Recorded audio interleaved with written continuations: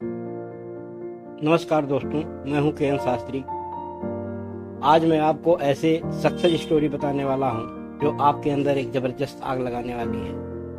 अगर आप अपने लाइफ में कुछ भी पाना चाहते हैं तो ये स्टोरी ज़रूर सुने, क्योंकि कुछ पाने के लिए अंदर एक आग का होना बहुत ज़रूरी है। ये कहानी शुरू होती है तब 30 जुलाई उन्नीस को, जब ऑस्ट्रेलिया में एक बच्चे का जन्म हुआ। उसके पिता पुलिस अफसर थे। छोटी छोटी गलतियों पर उसे बुरी तरह पीटा करते थे। कभी बाल खींचते तो कभी बेल्ट से मारते।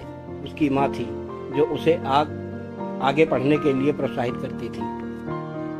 उस लड़के ने मात्र चौदह साल की उम्र में जिम करना शुरू कर दिया। वह कई घंटे जिम बिताने लगा। उसके दिमाग में सिर्फ़ एक ही चीज़ थी कि मुझे बॉडी बिल्डर में भाग लेना है। जब वह 18 साल का हुआ तो उसके कंट्री के एक व्यक्ति की तरह कंपलसरी उसे भी आर्मी ज्वाइन करनी पड़ी।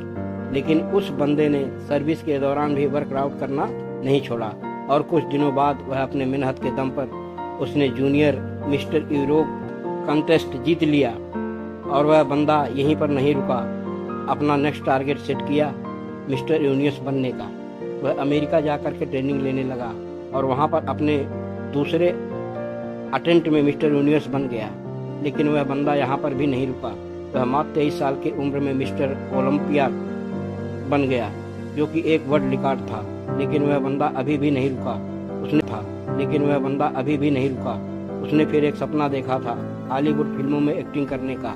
काफ़ी मेहनत के बाद उसे एक फ़िल्म मिली, द लॉन्ग गुड बाई लेकिन इस फ़िल्म में उस बंदे का एक भी डायलॉग नहीं था।